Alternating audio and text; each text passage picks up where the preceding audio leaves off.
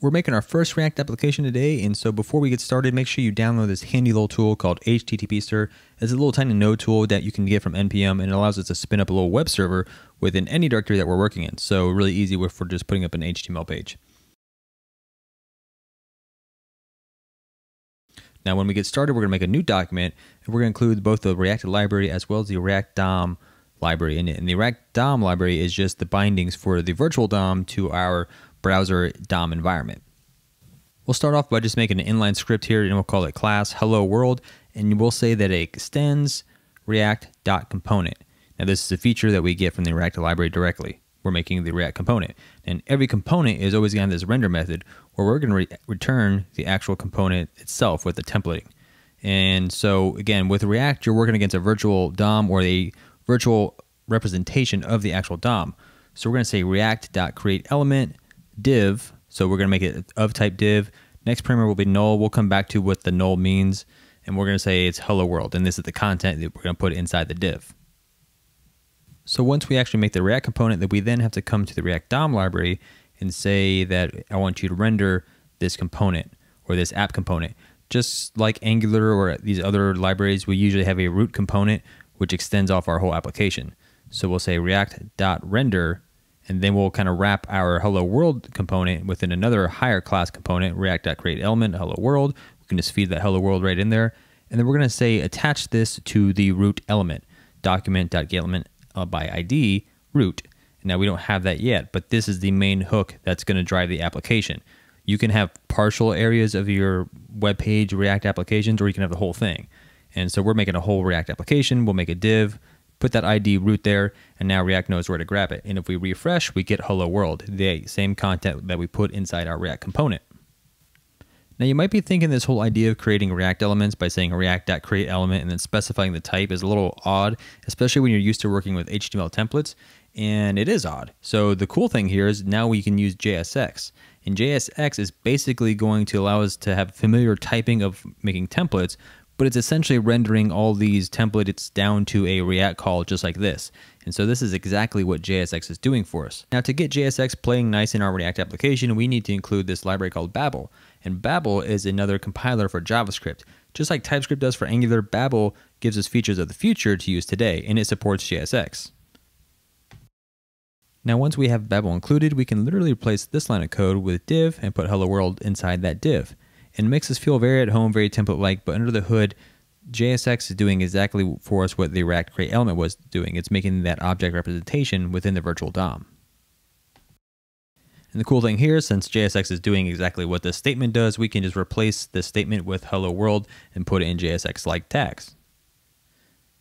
And before we hit refresh, we actually have to modify our script tag a little bit to tell Babel that this is a Babel script.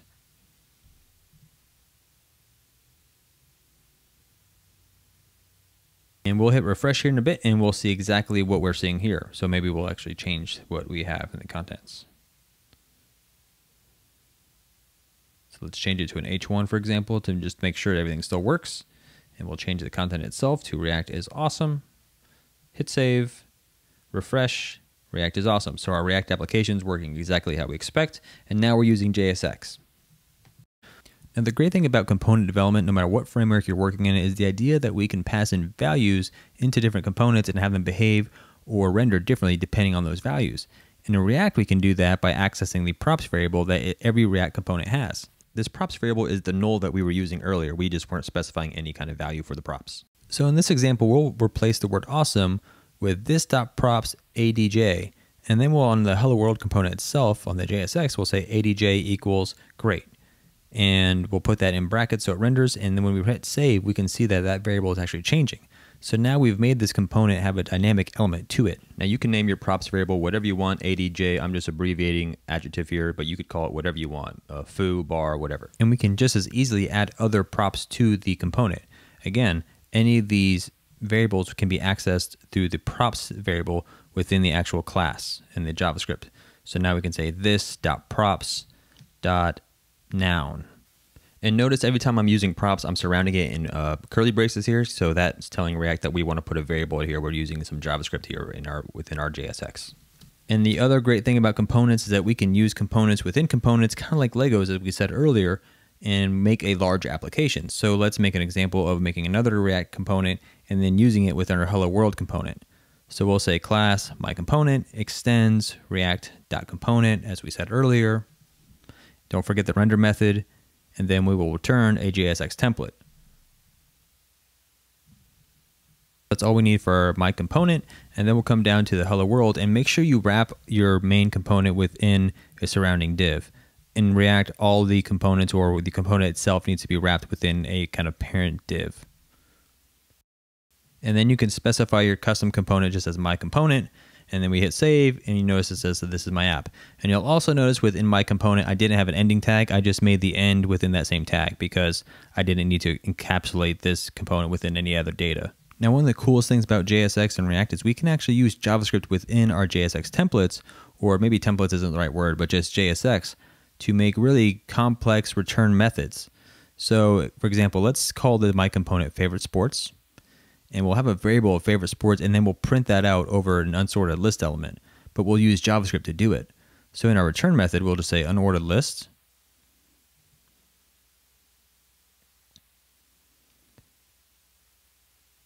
and we'll set the variable of a const favorite sports equals an array of hockey, football, and baseball.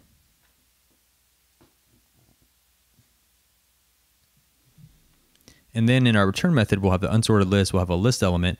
But before we do that, we'll actually put brackets to signify that we want to use JavaScript here. And we'll just say favorite sports.map. We'll map over that array, get each sport, and then return another JSX template here of list element of that sport. And so we can use very familiar JavaScript methods and calls and APIs that we're used to within this call. So the cool thing, and I think a lot of developers like React, is that they can use a lot of the familiar tools that they use in JavaScript rather than learning a whole framework and learning all these tricks of the trade. Like in Angular, we would use something like a directive to do something like this. But if you're very JavaScript centric, you can use these JavaScript APIs that you're really used to. And notice again, when we're rendering variables, just like props, we're using these brackets. So in our return method, we have the li, then bracket, then sport. And then we're going to change our hello world to be the kind of main app component. And you'll see this in bigger applications. There's usually an app root. We'll just say app, my favorite sports. We'll include that favorite sports. We have to change the name because we changed the name of the class.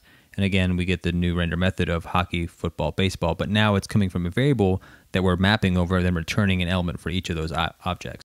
So this was a good example to get our feet wet with React, but if you're going to make a big React application, I would highly suggest use the Create React app.